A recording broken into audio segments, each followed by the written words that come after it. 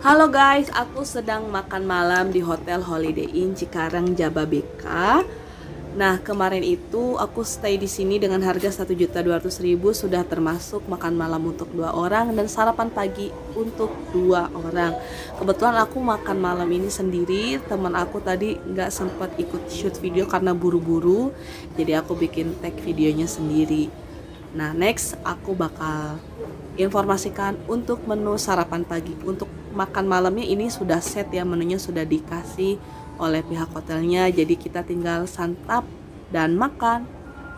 Enjoy for watching guys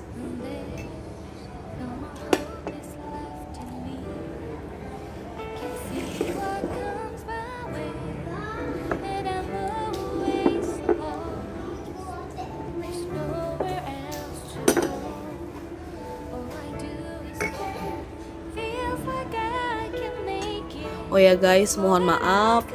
Makan malam ini aku menyingkirkan menu beratnya hanya mengambil menu ringannya yaitu aku ambil sayurnya nasi dan ayam serta kerupuknya. Aku tidak makan karena memang ini sudah terlalu malam. Menurut aku ini jam 8 jadi aku tidak konsumsi makanan berat.